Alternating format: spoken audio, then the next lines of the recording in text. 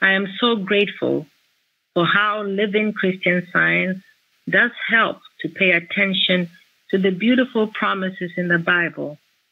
Last week, when the yet another war was on the news, I felt a little disturbed, but then Matthew 24 came to thought, and I went to read it and um, a few sentences from the passages there.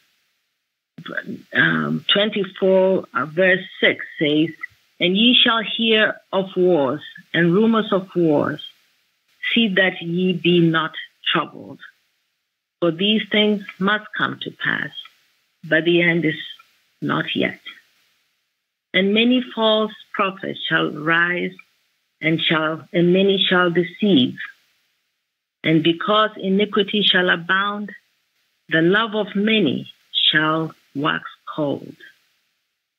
But he that shall endure unto the end, the same shall be saved. I just picked a few of the verses there to read, but they, they're very reassuring.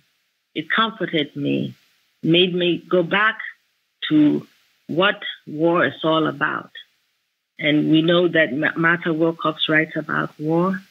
And uh, it's just amazing how learning from all these writings does bring peace, even in the midst of all the chaos that's supposed to be going on.